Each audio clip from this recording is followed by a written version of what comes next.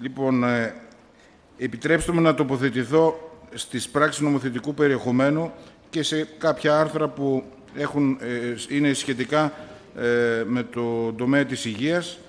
Τα υπόλοιπα, του Υπουργείου Εσωτερικών και τα υπόλοιπα άρθρα θα έχουμε το χρόνο να τοποθετηθούμε και στις Επιτροπές και ως βέβαια την Ολομέλεια την ε, Πέμπτη. Έτσι λοιπόν αναφορικά με την πρώτη πράξη νομοθετικού περιεχομένου, ε, βασικό σημείο της κριτικής μας που θα καθορίσει φυσικά και την ψήφο μας είναι αυτό που αναφέρεται στο πρώτο άρθρο αυτής, την, ε, η παράταση δηλαδή της θητείας των, των γιατρών. Κατά τη γνώμη μας πρόκειται για ρύθμιση που επαναλαμβάνεται, έχει ξανανομοθετήσει η κυβέρνηση αντίστοιχη ρύθμιση, παρουσιάζεται αυτού του τύπου η, η νομοθέτηση ως λύση στα πραγματικά και σοβαρά όμως προβλήματα από την έλλειψη γιατρών. Φυσικά αποτελεί στοιχείο της συνολικότερης αντιλαϊκής πολιτικής της κυβέρνησης, όπως και των προηγούμενων κυβερνήσεων, που έχουν ως πυρήνα τους την απόρριψη του σχεδιασμού και την υλοποίηση των αναγκαίων προσλήψεων προκειμένου να καλυφθούν οι ανάγκες.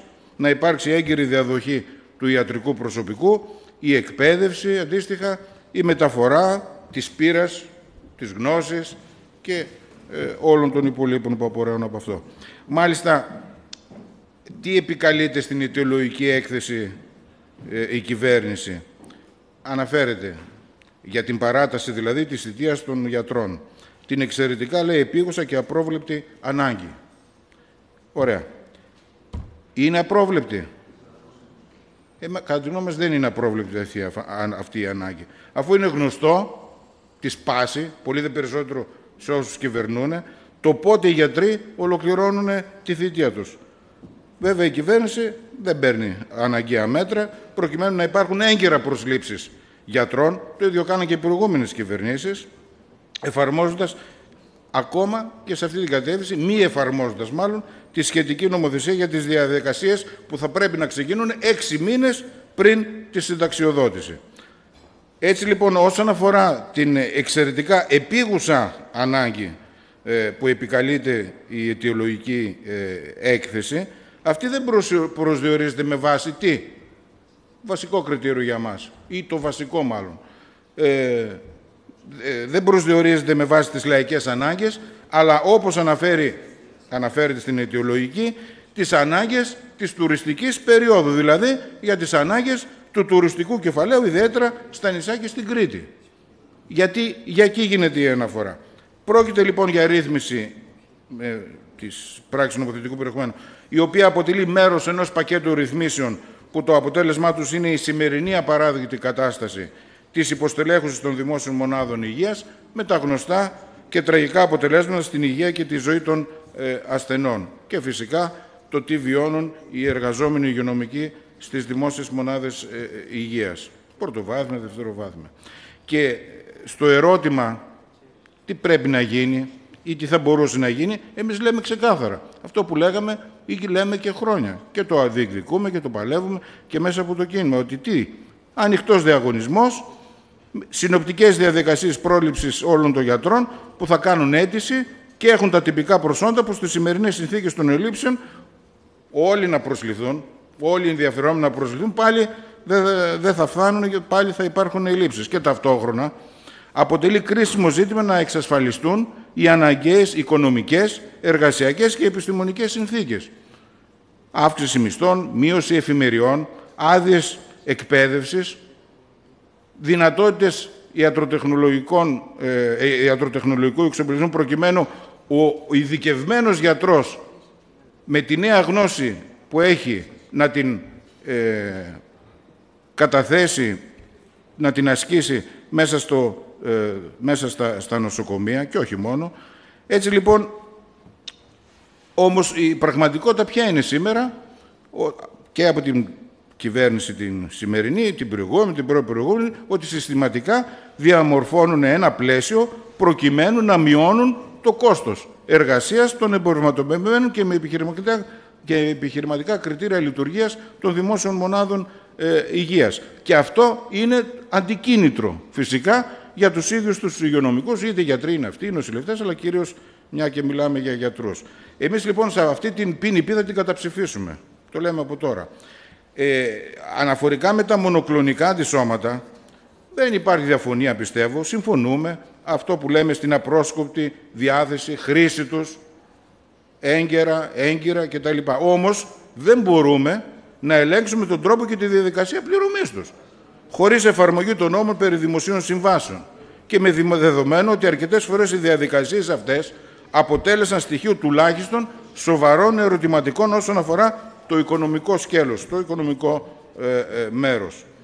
Ε, στο άρθρο 2 για την κύρωση της πράξης νομοθετικού περιεχομένου για την αντιμετώπιση, τα ζητήματα τέλος πάντων του Εθνικού Κέντρου ε, Άμεσης Βοήθειας, ε, νομίζω ότι θα συμφωνήσουμε όλοι ή συμφωνούμε τουλάχιστον όλοι ότι όντως η επίγουσα προνοσοκομιακή φροντίδα αποτελεί συστατικό στοιχείο της περίθαλψης κάθε ασθενούς, ενός ασθενή, πριν αλλά και κατά τη διάρκεια της διακομινητής του σε μια οργανωμένη δημόσια μονάδα πρωτοβάθμιας είτε δευτεροβάθμιας περίθαλψης. Συνεπώς, εδώ απαιτείται πλήρης στελέχωση με επαρκές και εξειδικευμένο υγειονομικό προσωπικό. Τεχνικά μέσα, μέσα μεταφοράς δηλαδή, υλικοτεχνική υποδομή και πάει λέγοντας, καθώς και αντίστοιχη πλήρης στελέχωση και εξοπλισμό για την 24ωρη λειτουργία των δημόσιων μονάδων υγείας.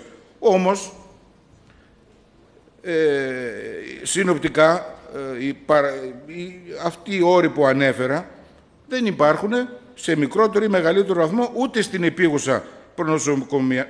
προνοσοκομιακή φροντίδα, ούτε στις δημόσιες μονάδες υγείας που υποδέχονται τα έκτακτα περιστατικά. Έτσι λοιπόν η κυβέρνηση, αντί να πάρει μέτρα για προσλήψεις εξειδικευμένου προσωπικού, εξοπλισμού με όλα τα τεχνικά μέσα σε πανελλαδικό επίπεδο. Γιατί, με συγχωρείτε πάρα πολύ, όλοι το ξέρετε, παντού υπάρχουν ε, σοβαρά προβλήματα. Έρχεται λοιπόν η κυβέρνηση και φέρνει αυτή τη ρύθμιση που αφορά απλά το όπως όπως. Έτσι, μεταφορά επιγόντων περιστατικών από οδηγούς που θα αποσπαστούν από την πυροσβεστική, το στρατό, την τοπική ε, διοίκηση. Που ακόμα ε, και αυτό, εφόσον ή με την προϋπόθεση ε, αυτοί οι φορείς να διαθέτουν το αντίστοιχο προσωπικό.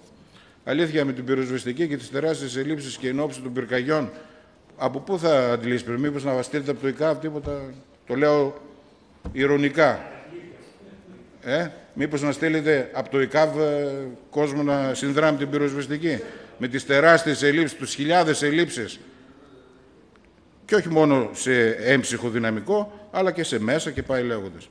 Συνεπώς, κατά τη γνώμη μας, αυτή η ρύθμιση που εισάγεται με την πράξη νομοθετικού περιεχομένου αποτελεί μια αντιεπιστημονική ρύθμιση, είναι άκρος επικίνδυνη, αφού καλούνται άσχετα με το αντικείμενο άνθρωποι που δεν μπορούν να προσφέρουν τίποτα στο, στο άμεσο και, άμεσα και κρίσιμο ε, τομέα της πρώτης ε, παρέμβασης, της πρώτης ε, αντιμετώπισης του ασθενούς στο, στο χρόνο, ε, στον κρίσιμο χρόνο, θα έλεγα, της αντιμετώπισης ε, του, του συμβάντος, αλλά και τη διακομιδή του ε, σε, στα, στις δημόσιες μονάδες υγείας.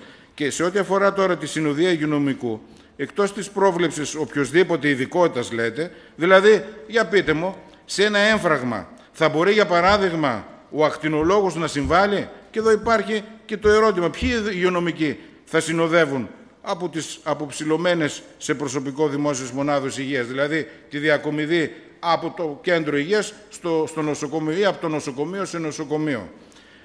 Όμως και στην περίπτωση, λέμε, στην περίπτωση που επιτευχθεί με το σχέδιο της κυβέρνησης η άμεση μεταφορά του ασθενούς.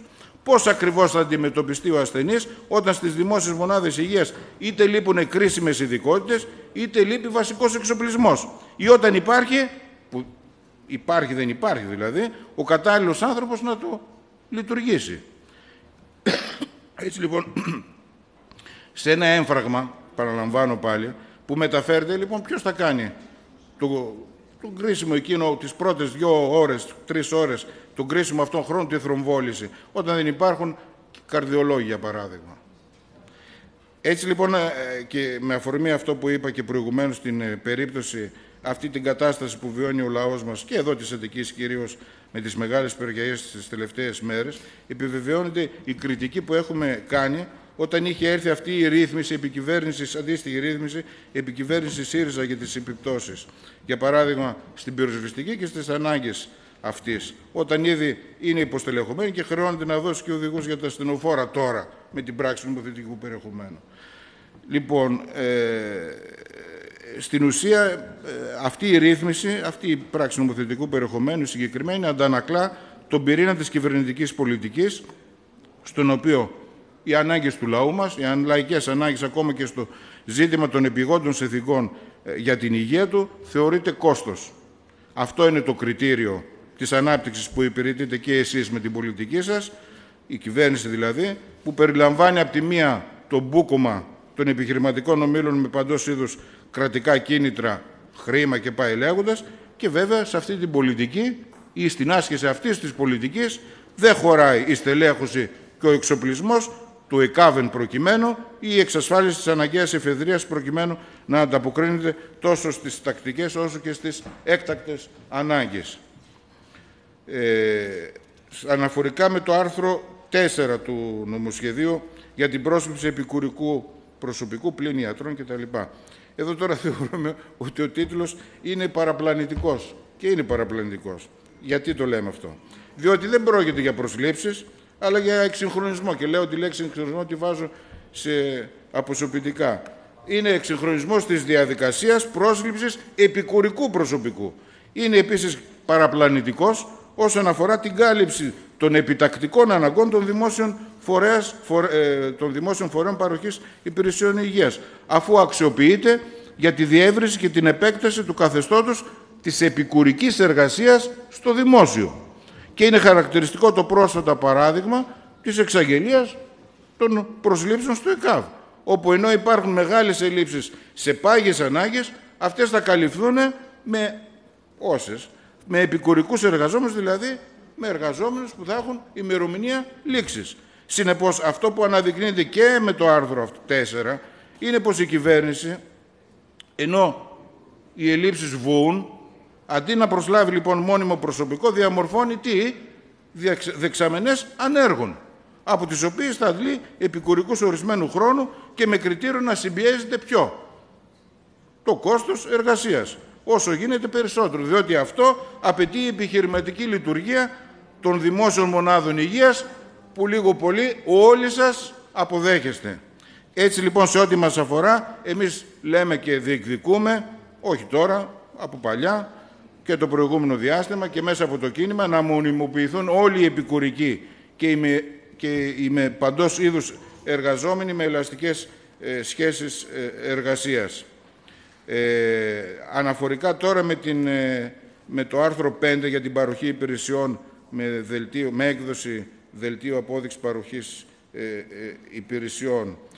Ε, εμείς απορρίπτουμε όχι μόνο τη ρύθμιση που φέρνεται, αλλά συνολικά το καθεστώς αυτού του τύπου της εργασίας, δηλαδή με δελτίο παροχής, απόδειξης, δελτίο παροχής υπηρεσιών. Μάλιστα, στο άρθρο προβλέπεται κατά σειρά το καθεστώς πρόσληψης επικουρικού προσωπικού και αν αυτό δεν ε, υπάρχει από τη δεξαμενή που είπαμε προηγουμένως των υγειονομικών ε, ε, περιφερειών, τότε θα προωθείται το καθεστώς των δελτίων, των, ναι, δελτίων παροχής υπηρεσιών.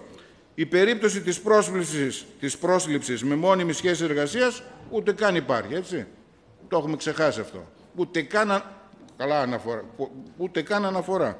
Έτσι λοιπόν αυτό το άρθρο αντανακλά και το περιεχόμενο της ευελιξίας στη λειτουργία των δημόσιων μονάδων υγείας και ευελιξία σε ό,τι έχει να κάνει με, τις, με το πολυπληθές νομοθετικό πλωστάσιο που διαμορφώνει στην ουσία και αυτός είναι ο στόχος όλων των παρεμβάσεων αυτού του τύπου και τώρα αλλά και τα προηγούμενα χρόνια να διαμορφώσει φθηνούς εργαζόμενους για τις κατόνομα δημόσιες μονάδες υγείας, τις επιχειρηματικές δηλαδή δημόσιες μονάδες υγείας του, του, του, δημοσίου.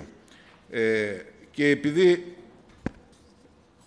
το προηγούμενο διάστημα με αφορμή της πράξης νομοθετικού περιεχομένου και όλα αυτά τα προβλήματα που ανακύψαν γύρω από το ΕΚΑΒ, καταθέτουμε σαν πρόταση, αν θέλετε, ένα πλαίσιο ετοιμάτων που κατέθεσαν οι ίδιοι εργαζόμενοι στα δημόσια νοσοκομεία, το ΕΚΑΒ κτλ.